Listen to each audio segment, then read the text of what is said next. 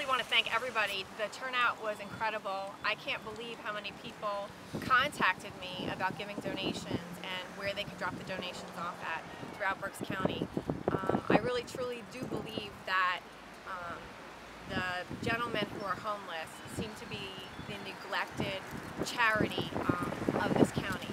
We have a lot of charities for the children, we have a lot of charities for the women, but these men are coming here who are homeless, who can't find jobs, really need help too, and that's what the mission does. I mean, they provide them not only with um, job skills, but education, clothing, um, and because they're privately funded, they cannot get any money from the government. Nice. Look at that, for interviewing, you know? Oh, sweater vest. Yeah, like, Nice. yeah. Cool. So um, it's great that people came out and did this for them, um, so that they can provide for these gentlemen. Definitely. Yeah, definitely. So thank you.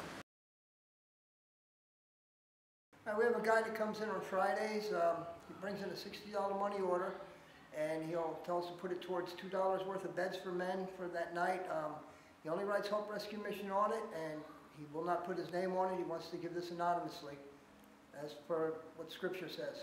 That's for thirty beds for, uh, one night, or for, if men- men's are behind in their rent, uh, if a man owes ten dollars, it'll catch him up.